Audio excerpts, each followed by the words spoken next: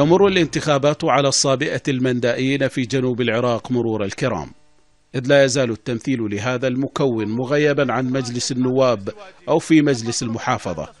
رغم أن العملية السياسية حفظت للأقليات والمكونات الأخرى مقاعد خارج التنافس عبر نظام الكوتا الخاص بالمكونات ذات الأعداد القليلة. بالرغم أنه لا توجد إحصائية دقيقة فيما يخص بأعداد الصابئة في محافظة ذي قار لكن الأعداد التقريبية بين 2000 إلى 2000 ونصف آه، حاليا رغم الهجرة التي حصلت على أبناء الطائفة إلى كافة أنحاء العالم. بالقرب من نهر الفرات يحتفل المندائيون في الناصرية هذه الأيام بعيد البروناية داخل معبدهم. عيد يأتي في أجواء يسيطر عليها الحذر بعد الاعتداء الذي تعرضت له عائلة صابئية العام الماضي بالأسلحة البيضاء.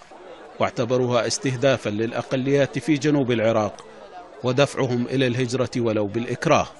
هو منحهم باعتبارهم مكون أصلي من مكونات المحافظة مقعدا لتمثيلهم والثانية زيادة عدد المقاعد البرلمانية للمحافظة التي تعتبر رابع محافظة في العراق. الإحصائيات الرسمية وغير الرسمية تشير إلى أن أعداد الصابئة تفوق في الناصرية عدد المكونات الأخرى.